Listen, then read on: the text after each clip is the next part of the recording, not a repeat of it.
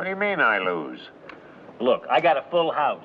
All you got is a lousy pair of checkers. Plus the fact that my ten of hearts has your bishop ready to convert. Is he following the rules? What rules? Ah, now it makes sense.